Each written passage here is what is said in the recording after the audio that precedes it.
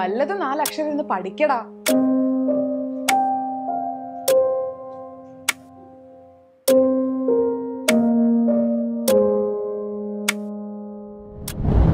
ഇതുപോലെയുള്ള പ്രശ്നങ്ങൾ നിങ്ങൾ നേരിടാറുണ്ടോ? പാരന്റ്സും ടീച്ചേഴ്സും എല്ലാവരും പഠിക്കുക പഠിക്കുക പഠിക്കുന്ന എത്ര പറഞ്ഞാലും പഠിക്കാൻ പറ്റാത്ത പറ്റാത്തൊരവസ്ഥ.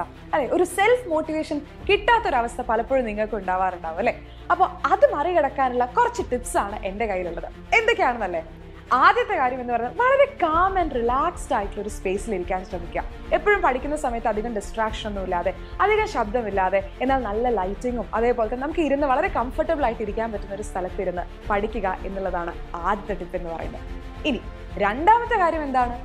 എത്ര നേരം പഠിച്ചു എന്നുള്ളതിനപ്പുറം നിങ്ങൾ പഠിച്ചത് കൃത്യമായിട്ട് പഠിച്ചിട്ടുണ്ടോ എന്നുള്ളതാണ് ഉറപ്പുവരുത്തേണ്ടത്.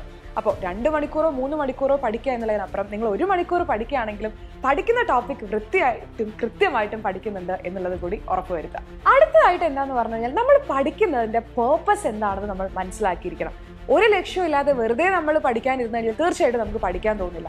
അപ്പൊ എന്താണ് നമ്മൾ പഠിപ്പിക്ക പഠിക്കുന്നതിന്റെ പേർപ്പസ് അല്ലെങ്കിൽ നമ്മുടെ ഗോൾ എന്താണെന്നുള്ളത് നമ്മൾ സെറ്റ് ചെയ്യുക. നിങ്ങൾക്ക് ഫ്യൂച്ചറിൽ നിങ്ങൾക്ക് ഒരുപാട് തരത്തിലുള്ള ബെനിഫിറ്റ്സ് അല്ലെങ്കിൽ നിങ്ങൾക്ക് നല്ലൊരു കോളേജിൽ കിട്ടണം നല്ലൊരു സ്ഥലത്ത് അഡ്മിഷൻ കിട്ടണം ഒരു ഡോക്ടർ ആവണം അല്ലെങ്കിൽ ടീച്ചർ ആവണം എഞ്ചിനീയർ ആവണം ഡിസൈനർ ആവണം ഒരുപാട് ഒരുപാട് ഒരുപാട് ഡ്രീംസ് നിങ്ങൾക്ക് ഉണ്ടാവും. അപ്പോൾ അതിലേക്ക് എത്താനുള്ള പേർപ്പസ് അല്ലെങ്കിൽ അതാണ് നിങ്ങളുടെ പേർപ്പസ് എന്ന് നിങ്ങൾ മനസ്സിലാക്കി കഴിഞ്ഞാൽ നിങ്ങൾക്ക് പഠിക്കാൻ കുറച്ചും കൂടി സെൽഫ് മോട്ടിവേഷൻ ഉണ്ടായിരിക്കും. ഇനി ശ്രദ്ധിക്കേണ്ട മറ്റൊരു കാര്യം എന്ന് പറയുന്നത് പഠിക്കുന്ന സമയത്ത് കോൺസെപ്റ്റ് കൃത്യമായി മനസ്സിലാക്കി തന്നെ പഠിക്കാം.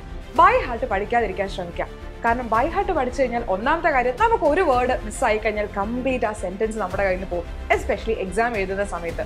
അതുപോലെ അതിന്റെ മറ്റൊരു പ്രശ്നം എന്താ വെച്ച് കഴിഞ്ഞാൽ നിങ്ങൾ ഈ പഠിക്കുന്ന കാര്യം നിങ്ങൾക്ക് അപ്ലൈ ചെയ്യാനായിട്ട് പറ്റില്ല. നിങ്ങൾ അപ്പോൾ പഠിക്കും ആ എക്സാമിന് അഥവാ എഴുതിയാൽ എഴുതി പക്ഷെ പിന്നീട് നിങ്ങൾക്ക് ആ ലൈഫ് ലൈഫിൽ ഒരിക്കലും അത് എന്ത് ചെയ്യാൻ പറ്റില്ല. അത് നിങ്ങൾക്ക് അപ്ലൈ ചെയ്യാനായിട്ട് പറ്റില്ല. അതുകൊണ്ട് തന്നെ എന്ത് പഠിക്കുന്ന സമയത്തും കൃത്യമായിട്ട് അത് മനസ്സിലാക്കി പഠിച്ചു കഴിഞ്ഞാൽ നിങ്ങൾക്ക് ഇനി മുമ്പോട്ടുള്ള എല്ലാ സമയത്തും അത് അപ്ലൈ ചെയ്യാനായിട്ട് സാധിക്കും. യെസ് ഇനി വേറൊരു കാര്യം എന്ന് പറയുന്നത് കുറച്ചും കൂടി ഇൻട്രസ്റ്റിംഗ് ആയിട്ടുള്ള കാര്യമാണ്.